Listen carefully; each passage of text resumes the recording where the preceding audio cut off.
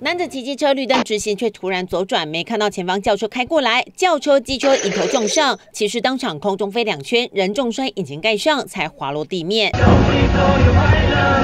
换个角度再看一次，机车没带转，直接左切，机车当场被撞喷出去，骑士则是躺在地上动也不动。你要转弯的人应该要让要让人家哈，正常要从那边带转比较安全。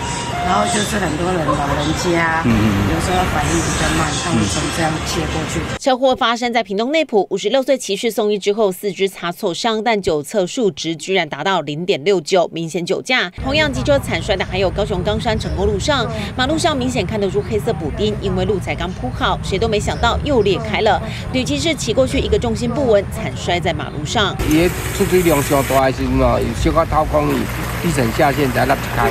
它有一些特殊工法，需要特殊的厂商来来解决哦。因为它现在水，我们水是没办法止水。